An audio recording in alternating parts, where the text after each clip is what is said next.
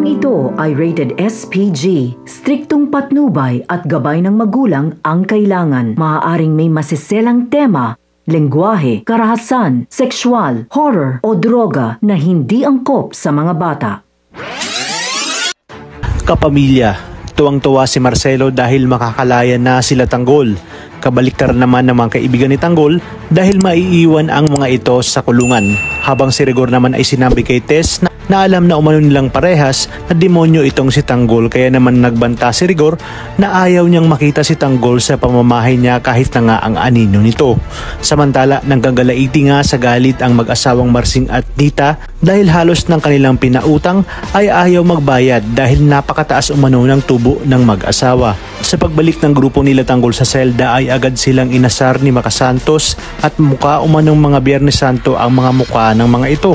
Sinabi nga ni Marcelo na makakalaya na sila ni Tanggol at ang mga kaibigan lang nito ang hindi pa naman makakalaya. Hindi makapaniwala si Makasantos na makakalaya na si Tanggol dahil sa bigat daw ng kaso nito. Agad na pinaalam ni Makasantos kay Chief Espinas ang tungkol sa paglaya ni Tanggol. Kaya naman sinugod nito si Marcelo dahil sa pagiging pakialamero nito. Hindi nga umubra si Marcelo sa balak nitong pangliligaw kay Chief Espinas na umanib sa kanya dahil sinabi ni Espinas na kilala niya umano ang amo ni Marcelo kaya ganoon na lamang ito kayabang at ang mga dapat nating abangan.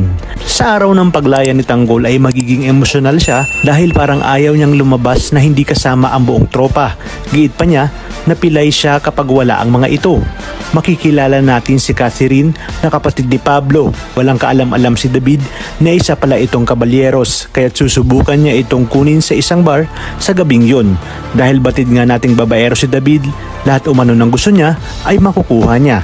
Bago naman na umalis si Marcelo ay nangako siya na kahit nasa labas na siya ay patuloy pa rin ang pagpapadala niya ng pera sa mga preso. Binaran naman siya ni Mayor Celso na kung lalabas ito ay lumabas na lamang at itigil na ang pagyayabang nito.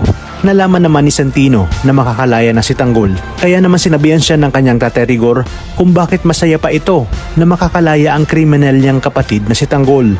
Sa selda naman ay nangako si Tanggol sa buong tropa na magpapayaman siya at kapag mayaman na mayaman na siya ay kukuha siya ng pinakamagaling na abogado para mailabas ang mga ito sa koreksyonal. Talagang kapanapanabig ang mga susunod na tagpo sa teleseryeng ito. Kaya naman sabay-sabay natin itong pakaabangan. At kung bago ka pa lamang sa akin channel ay sana'y huwag kalimutang mag-like at subscribe. Pinutin ang notification bell para updated kayo palagi. Maraming maraming salamat sa inyong panonood at hanggang sa muli, kapamilya.